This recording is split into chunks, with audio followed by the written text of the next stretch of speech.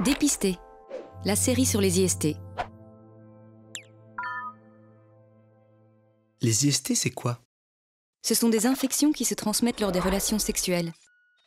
La pénétration, vaginale ou anale, la fellation et le cunilingus, parfois aussi lors de caresses sexuelles. Il y en a beaucoup?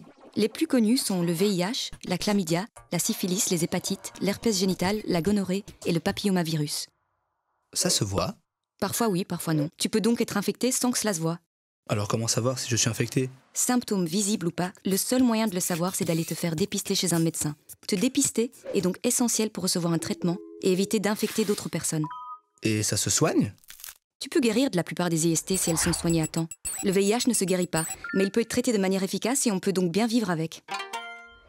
Comment me protéger? Le préservatif est un bon moyen de te protéger. Ne l'oublie pas au moment de passer à l'action. Préservatif, dépistage, traitement. Stop aux IST.